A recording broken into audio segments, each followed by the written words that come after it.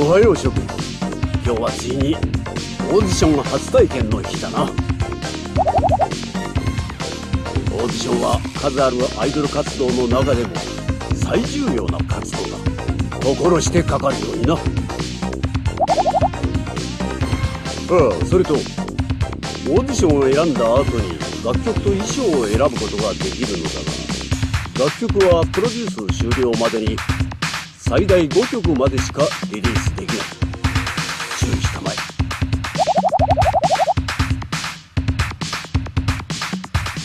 どんな曲で活動するかでイメージは変化するが最初は君の思うように選びなさい。では初陣での勝利を期待しているぞ。